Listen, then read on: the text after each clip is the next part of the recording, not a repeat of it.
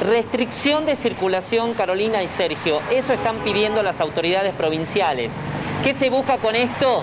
Que se reduzca al 50% la circulación y el movimiento de un municipio al otro. Habló la ministra de Salud, Roxana Chala, y esto explicaba sobre las medidas.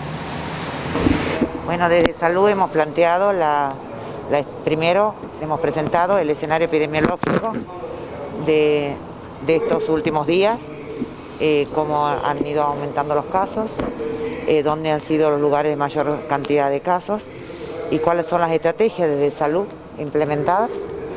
Y a su vez hemos pedido, hemos hecho un pedido importante al COE, eh, que necesitamos la disminución de la circulación de las personas, sabemos que la medida más costo efectiva es el aislamiento total, sabemos que eso es lo ideal, eh, lo posible, lo real, lo plantearon los intendentes, nosotros pedimos acá la disminución de la circulación de las personas, sabemos que el virus circula con las personas, entonces hemos pedido que la estrategia la tomen este, entre los intendentes que tienen poder de policía, de controlar, de ver y de hacer cumplir las medidas. Entonces, por un lado, la disminución de la circulación de las personas se ha pedido.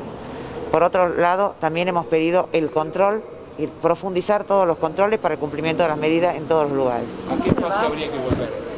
Eh, no hemos hablado de fase, nosotros solamente decimos las recomendaciones, que lo que necesita salud hoy, disminuir la circulación de las personas, por eso apelamos a, los intendentes que, que, los gobiernos locales son los más importantes para hacer cumplir las medidas, sobre todo el Gran San Miguel de Tucumán, el que nos preocupa, donde tenemos el 85% de los contagios, entonces debemos ser muy estrictos con el cumplimiento de las medidas.